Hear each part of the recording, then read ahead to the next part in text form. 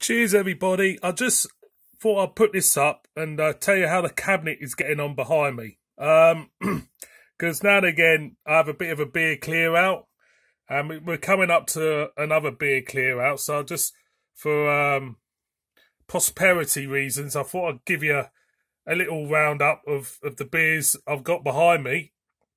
Um, so we start off over here.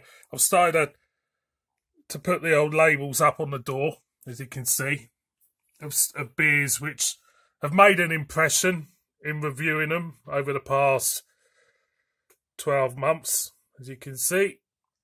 And I'll uh, just go through. There's some recent additions. Um, Full Circle was done um, last week, and we've got a load of Turning Point cans here, which I'm finding hard to, to get rid of actually because I love the jackets on them, the artwork. So I can't see many. I think that the, the Parma Violets will go out and the Camdens and the Salt will go out.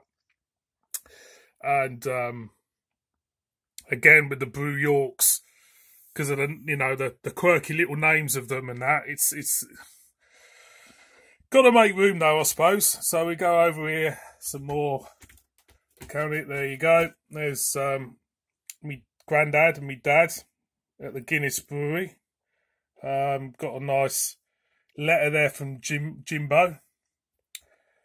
Um, then we go down. Lots of more. There you go. There's some more kind of like labels and stuff. We go on to the second the second shelf, we've got uh, the Wander Beyond, which may be going out, and some of the Tiny Rebel as well might be going out. There's uh, the Jarvis card from the bar in Benidorm, which I visited.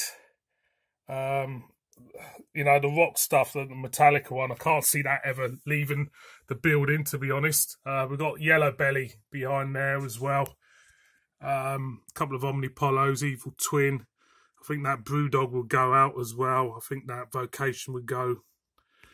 Um, on the cabinet door and we get down to the bottles. Again, stunning cans. I can see a couple of them going. I think the one from Madeira will be going. Tennent's will always be here. Um, again, there's stuff here which I don't really want to get rid of, but, you know, to make room for new stuff, you got to do it in here, I suppose. So, uh, and we go down to some more bottles. And over here we've got um, a lot of the Belgian stuff, which I love. Um, you know, why have I got that one in here? Because I like the label. The beer was, you know, mediocre, but I like the label. You know, I like the labels. Some of the beer labels are fantastic. Um, that one is from my neck of the woods. An unusual view behind there. Celebrator. So, you know, it's always nice to collect stuff, and I'm thinking of putting up some shelving and stuff uh, for this, but you know, where do you end? Um, I mean, that wall over there, I'm gonna put some of that, you know, the metal um, Belgian signs, Saint Bernardus, Saint Bernardus, should I say, Duvel and Trappist, Rochefort, you know, them really good metal signs you can get. So yeah, so I thought I'd give you an update what's going on behind me. No doubt it will all change in the course of this year. Cheers everyone.